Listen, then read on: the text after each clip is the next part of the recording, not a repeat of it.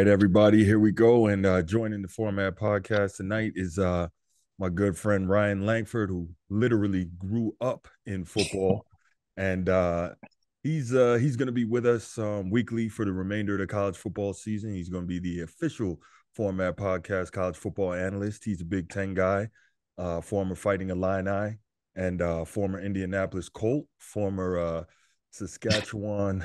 what is it? Uh, man, the Rough Riders. Rough yeah, Riders, you got you got it all. Rough Rider, Ottawa Red Black, BC Lion. You, you, you, got it all. You hit the nail on the head there, Bruce. Appreciate. it. There we you. go. There we go. So, um, Ryan definitely knows all about football, and uh, he's going to use his experience and expertise to uh, some uh, give us some knowledge. So, Ryan, thanks for taking time out of your busy schedule to join us tonight, man. especially with the NFL season starting. I know you probably uh, want to be watching the game, man. I appreciate you. No, no. Thank you for having me, Dan. Thank you for having me. Absolutely, man. So let's go ahead and uh, let, let's get right to it, man. So, um, talking college football, you know where we got to start, and that's with uh, Colorado Buffaloes, um, Deion Sanders, Shedeur Sanders, Travis Hunter, man. Um, what what are your thoughts on this team? What do you what do you think about uh, I guess the the uproar that Deion has uh, made in college football and what we see from those Colorado Buffaloes so far early in the season. I love it. I've been a Deion fan for a long time. Um, I love Deion.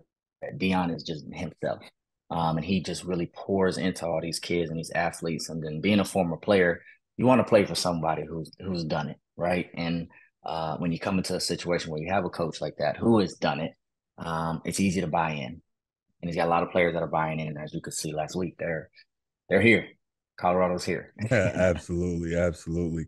Um, so uh, I guess eh, first when we when we talk about that team, mm. obviously we're going to talk about the most important position in in all sports, and that's the quarterback position. And um, as a former wide receiver, obviously having a, a high level quarterback play is extremely important to you. What do you see from Shedeur Sanders that makes him so special?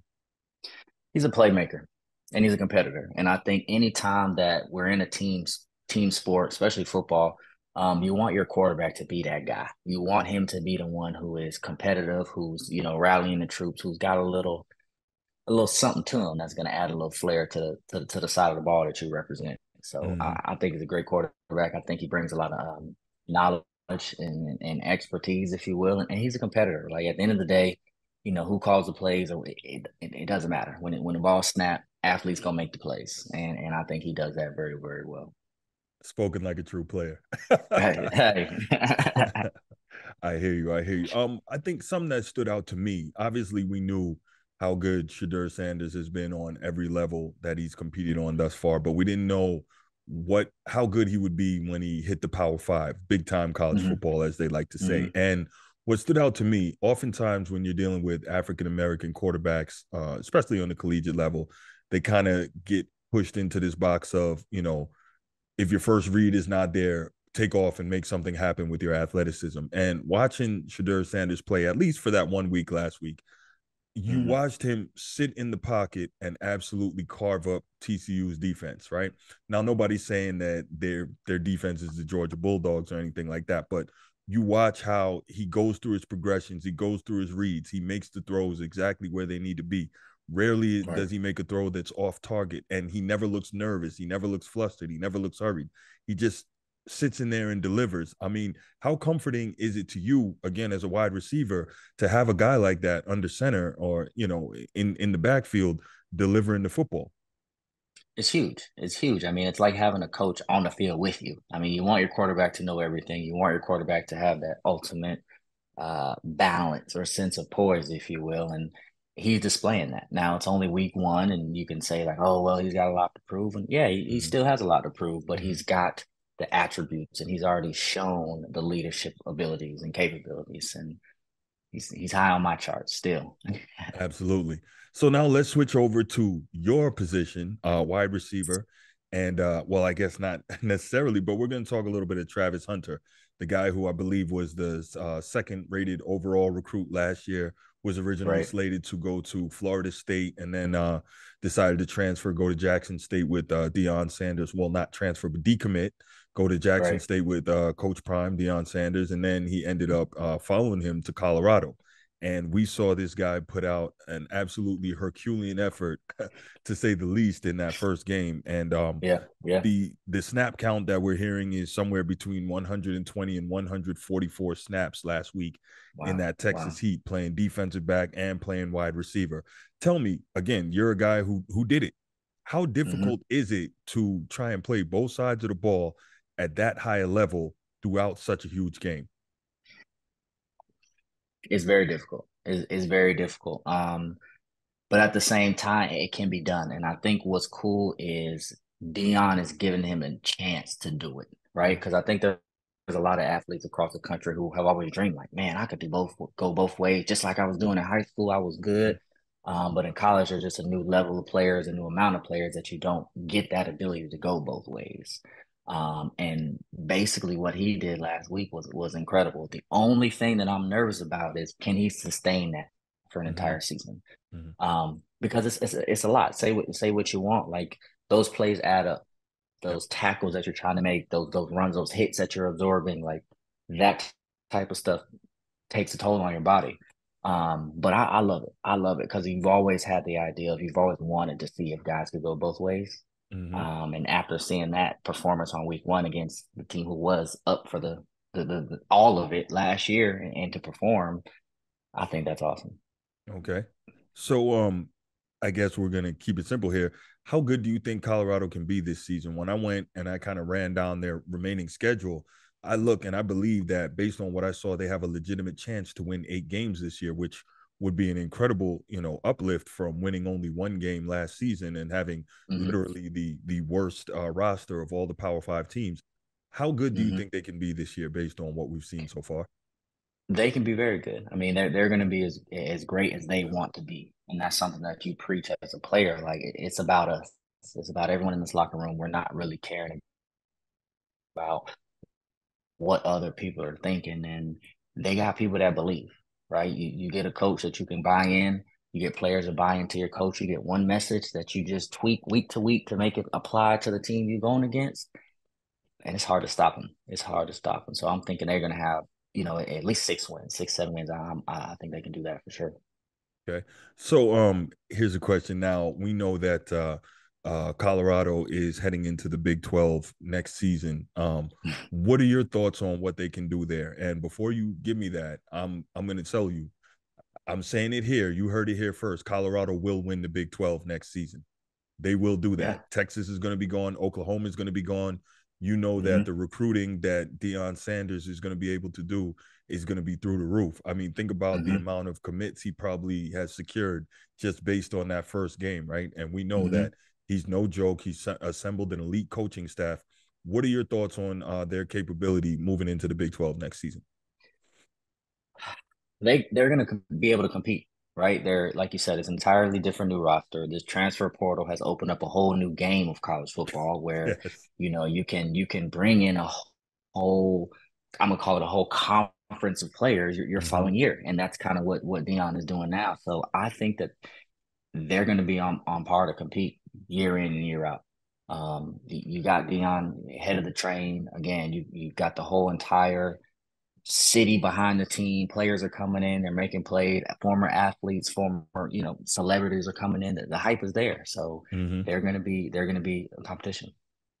All right, so let's let's go ahead and uh, switch it up a little bit from Colorado, and now we will take it to your wheelhouse. You're a Big Ten guy. You are fighting Illini through and through.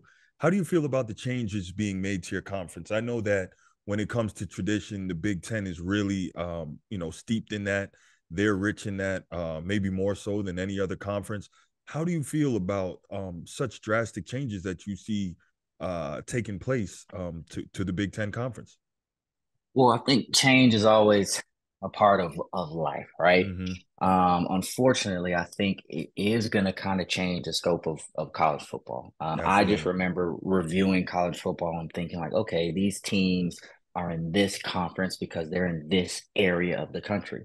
Um, whether it be the SEC, ACC, you know, however the, it it was broken down, that's how it was. Mm-hmm. Um, now, when they're you know bringing new teams in, and and the Big Ten's already changed from when I was in there, right? Right. So, um, those two additions I was cool with, but now you know, bringing new additions from across country, like mm-hmm. that's that's a little bit different. I don't see, you know, Big Ten, the history, the you know, the, the second half of the season was getting cold, the snow games. I don't feel that when you're bringing teams in um, from from the West Coast, but right. So so that's the thing that I think will change. I think the football is still going to be as good. Um, mm-hmm. It will take some time for the teams out west to get up to speed with the type of football that I think the Big Ten is. Yeah, I was going to get to um, that, but it'll be exciting. It'll it'll be exciting to see. Mm-hmm, mm-hmm. So, um, before we kind of talk uh, a little more about those changes and the acclamation of those teams, and we'll get to that. Uh, Illinois specific, give me your thoughts on Bret Bielema and what he's doing with your team, those fighting Illini, and how good you think they can be with him. Um, we saw he went down to Arkansas and uh, um, he was in the SEC for a few years, and I really thought that he could be a good fit down there based on the type of football that he always coached at Wisconsin, being a big uh, physical team on both sides of the ball, pounding the football. But for whatever reason, maybe it was cultural, it just didn't seem to quite fit in the SEC. But now he's back in the Big Ten, first year with Illinois. Um, definitely improved them a great deal. What are your thoughts on him uh, coaching your alma mater and, and what they can be? Man, he's doing a great job he, he's doing a great job. He's done a really good job of just kind of again changing the culture, and and mm-hmm. that's really all that it takes: changing the culture, having the belief, and having guys that are buy in.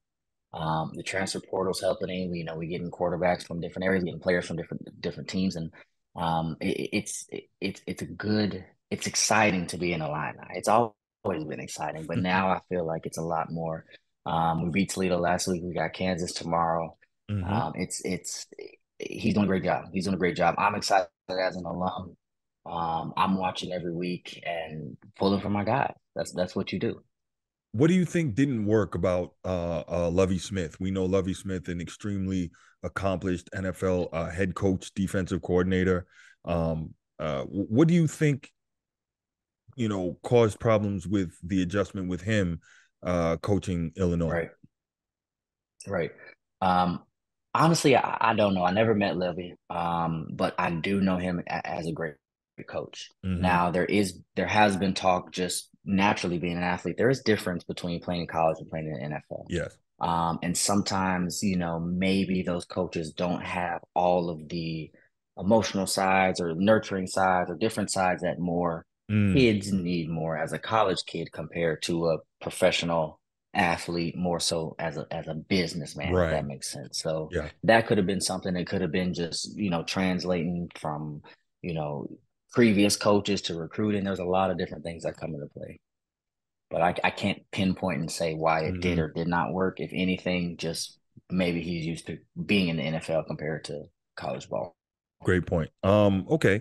So let, us get a little bit back to um some some things you mentioned earlier. Let's get back to that what type of impact, if any, do you see those incoming Pac-12 teams having on on that conference? And I know you mentioned earlier that those West Coast teams, your USC's, your UCLA's, um, maybe not as much your Oregon's and Washington's, but um, they may need some some time to adjust. At least that's my thought in terms of style of play, mm-hmm. the the the physicality in the Big Ten, um, uh, the right, weather, right. you know, mid to late season in the Big Ten, mid October it starts getting cold already, you know. Um, uh, right, then right, you, right. have in later in the season you have the snow games and all that. And when you got you know uh, a bunch of track stars like UCLA or USC, that gets slowed down a lot when you're not used to it. I mean, obviously Ohio State's got speed too, and Michigan, but those guys are used to playing in those conditions. So tell me what you think about that adjustment period. Matter of fact, you can speak to it very well, being a Florida kid who you know went up north mm-hmm. to play ball.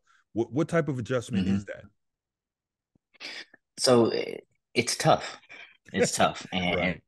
and, some people embrace the, the, embrace it, and some people um, change and able to adapt to it, and some people can't. Um, I personally, I love the heat. I used to make jokes with people even when I went up to Canada. I was like, man, I'd give up some of my game checks to have it hundred degrees all season long, burning. Like I, I'll give it up because the cold is different. Hands mm-hmm. get cold, feet yeah. get cold. Plus, being in the stadium, being in the atmosphere, there's a lot of different things that come into play. Um, so I think that it, it is going to be an adjustment. A lot of those teams are recruiting only in the states that they're at, you know? Mm-hmm. So you're getting all these kids from California having to go up to Penn State, going to Happy Valley right. in the second half of the year, that's different. That's right. different. You got to go to Happy Valley. You got to go to Ann Arbor. You got to go yeah. to these places where Camp these kids yeah. have been practicing and living in the snow. Camp Randall, they're used to this type of mm-hmm. environment. Um, but that's where the athletes come through, and and that's what we'll have to see. I hear you on that. I hear you on that. So, um, if you had to pick a team, who who would you say would have the most difficult time adjusting to being in the new conference and, and dealing with those type of things? Probably them boys in California, USC. Probably. Yeah. I mean, that's that's the I would think just on you just look at the weather and mm-hmm. where they're at year mm-hmm. round and where right. Champaign is year round and where all these other Big Ten schools are year round. Now, granted, they're only coming out there for one game. You got a right. chance to perform, but that that's still a that's still a challenge when you're not used yeah. to that because you can't yeah. you can't prepare for the cold, especially in an environment like that. Right. Great point. Um, and I noticed that you know because me, I'm a Notre Dame fan, and uh, obviously Notre Dame and USC play every year and alternate the home games. Right. But what I noticed when USC has the home game, it's the last game of the year in November. And when USC mm-hmm. has to come to South Bend, they do it in mid October before it gets cold, you know. Mm-hmm. And mm-hmm. once they're in the Big 10 mm-hmm. they're not always going to be able to manipulate situations like that. And you know, we know why that is. So not at all. Yeah, I'm I'm definitely looking forward to you know seeing how they have to deal with that. And you know, like we mentioned, the, those guys are track stars. You know, elite offensive teams, mm-hmm. tremendous amount of speed. But I would think it would be things as simple as trying to figure out what's the right cleats to wear in in that environment you know yeah, absolutely all those are absolutely. things that you got to take absolutely. into account yeah i mean i just remember getting the schedule and looking all right going straight to the bottom for who we playing in the second half and is it a night game or is it a day game it's, it's, it's going to be cold right but you know if it's in the morning time at least the second half is going to be freezing but mm-hmm. but if you know it's a night game in Minnesota, oh man, it's oh. yeah, get, get get ready. It's it's, it's gonna be cold out there. Right. We had a cold one my sophomore year in Minnesota. That was probably one of the coldest games I had ever played in college. You know, mm. prior to going to Canada and dealing with right. all that, but it's different. It's different. It's different. It's different playing in the Big Ten when it's cold. But that's what you gotta love about it, though. I hear that. You you might be the you might be the only Florida kid who's saying that. oh my goodness. You get used to it, man. When you get used to it. I hear you. So do you think all these moves that that the Big Ten is making, um, adding Oregon, adding Washington, adding uh, UCLA and USC, do you think that adding those uh, big name teams from you know what will be uh, I don't even know what's going to happen to the Pac-12, but adding those big teams, right, right. um, do you think that those moves are going to put the Big Ten on equal footing with the SEC? Because I believe the Big Ten now has the largest uh, TV contract in history. And so obviously that's going to allow for better facilities with the payouts to each team. That's going to allow for a, right. a bigger, um, uh, the amount of more money to hire uh, big name coaches and coaching staffs and, and all these things, uh, more NIL, et cetera. Do you think that's going to be able to put mm-hmm. them on the, the the same plane with the SEC on the field? Um, I, I personally I don't. Um, the SEC is is is elite football. Now, mm. I do think that the way that the transfer portal is working and and all these new additions that um, you're going to start seeing more teams kind of evolve, if that makes sense. Mm-hmm. Um, I think the Big Ten, def- the Big Ten definitely has a chance to play and compete with the SEC. I mean, we used to think that we we could compete. Uh, we never really had a chance to play, but um, the SEC is, is, is, strong football, and mm-hmm. I think it's okay to admit that they're strong and not mm-hmm. try to even say that you got to compete with them. So it's a different football. It's a it's a much faster game. I feel like, and and those guys are are are are, are talented. You know. Mm-hmm. I hear you on that. Okay. Um. So uh, let's let's move to this weekend and the scheduling we have going on. Um. What games in particular are you looking forward to watching and why? Give us give us a couple of those. Well, of course, um, I got to be looking for Illinois. Excited to see Illinois. Yeah, right. Um, you know, we we we snuck one out last week versus um, uh, what you call it? I'm drawing a blank just now. We snuck one out versus Toledo. Um, mm. but I'm excited about that. Um, I'm trying to think who else is, is playing this week. Um. Yeah, excited about that one. Um, Alabama, Alabama, yep, Alabama, um, oh, Colorado, of course. I'm I'm yeah. I'm a huge Colorado Colorado fan now, right? I think everybody yeah, is. I think everyone I, I wants to see um, them do well. So those are probably the the, the ones that I'm most excited for. Mm-hmm. Mm-hmm.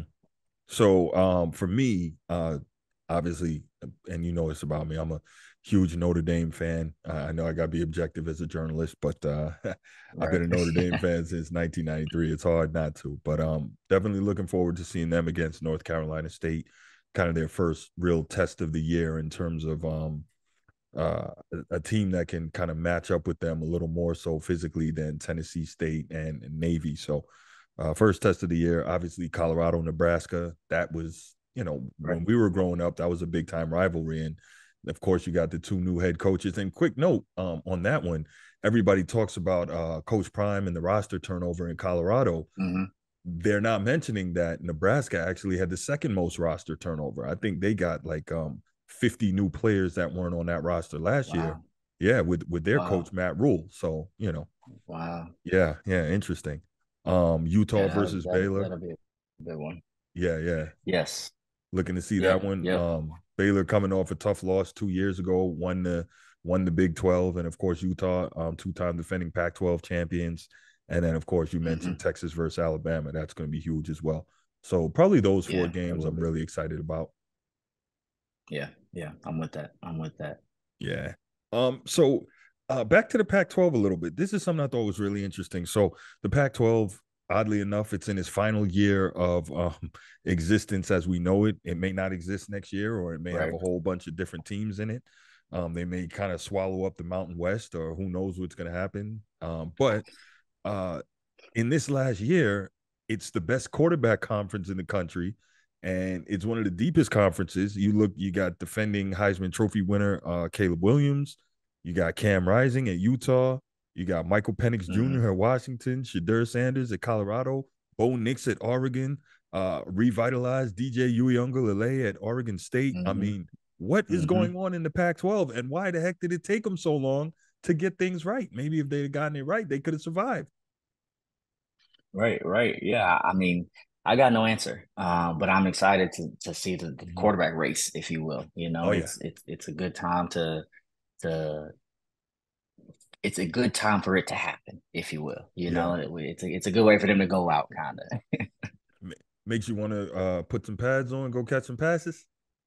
Man, honestly, no. Honestly, no. It's I always have a little moment where I'm like, yeah, I could go back, but then part of me's like, man, I enjoy just being done. You know, yeah. I lived that life. I, I, did it. I was, you know, blessed enough to get away with no significant injuries mm-hmm. and I'm in my right mind and do things that I want to do. So um, I, I lived that life, and now now it's fun to go back and just watch it and appreciate it and and, and reflect on on what I did. But it's Pac-12 got some teams, kind of got some quarterbacks, got some sure quarterbacks do. out there. And and you know what I was thinking? This is so odd, right? It's interesting how timing happens in life uh, in a lot of situations. Um, so the Pac-12 has been trying for years, and I guess the major reason that it fell apart is because it couldn't secure a new TV deal. And I was thinking about this: right. if if Coach Prime had gotten to Colorado one year earlier, they probably mm-hmm. would have been able to secure that major TV deal, and the conference wouldn't have fallen apart. That that that to mm-hmm. me is really interesting to think about. And now you've got just a, a total shift and a complete. I mean, we we use the term realignment, but it really is a complete realignment in the college football world. And um, I just thought that was so interesting. Um, just you know how how much of a difference one year can make. Yeah, yeah, and I, I definitely think they would have got the funding for it. I mean, oh, yeah. Deion is is doing is doing crazy numbers, and mm-hmm. then the, he's Deion Sanders. He's Deion Sanders. There's a lot of pull yeah. for him right now, and so the Pac-12 might have been able to, you know, renew, if you will. mm-hmm, mm-hmm. Absolutely, absolutely. So, um, remember, remember what I said that uh, uh, the Buffaloes, Colorado Buffaloes, will win the Big Twelve next year. I'm saying it now. Right. So nobody can say I'm when it happens. Yeah, yeah, write it down, man. I'm saying it now because I think with Oklahoma and, and Texas going to the SEC, I think that the, the conference is going to be wide open. And again, seeing what Deion is able to pull with the transfer portal and then the recruiting he's going to be able to do to add to the depth on the uh, offensive and defensive lines, I think they're going to be such a dangerous team, man. Um, before I let you get out of here, man, just in general, uh, uh, your thoughts. Um, uh, you know, just how does it make you feel? I know you said that you know you you realize you, you were blessed to play for as long as you did, no major injuries. You're kind of done with it. But how does it make you feel when you you know you sit in front of the TV and you watching one of those barn burner games? Like, what what goes through your mind? What goes through your body when when that happens for you? it, it's it's exciting, right? I'm I'm a competitor at heart. Mm-hmm. I love to compete. I love to just challenge myself. I love to just try to get better at all times. Mm-hmm. And then when the, those barn burner games are on, like you said, it just makes me think back to, to my career and mm-hmm. just you know watching watching the fans and just being on the field and you know knowing the play that is going to come before it's called and before everyone else knows what's going to happen. And it's mm-hmm. it's football is one of the best, if not the best sport in the world, right? There's so much stuff that you can learn. Um, there's so many key points that come into play to make a play successful um, and to win a game. And it's, I love it. I love it. I love it. So as a, as a former athlete, I like to just sit back and watch these guys and, and just think like, man, I remember, I remember those days. I don't got to go back, but I remember those days. there it is, man. Ryan, thanks so much for taking the time to join us this evening, man. Definitely look forward to uh, talking to you again next week, kind of going through some of the results from this weekend and looking forward to some of next week's games, man. Um, go ahead, sit back Absolutely. this weekend, enjoy it, and uh, we'll talk soon. For sure. I appreciate you, Bruce. All right. And everybody, if you haven't already, please make sure you go ahead, click that like, that subscribe, and that notification bell so you can stay up to date on uh, whenever new content drops on the channel. And uh, this will be the end of this one. Can't wait to hear from you. Can't wait to see you again. And I'm out. Peace.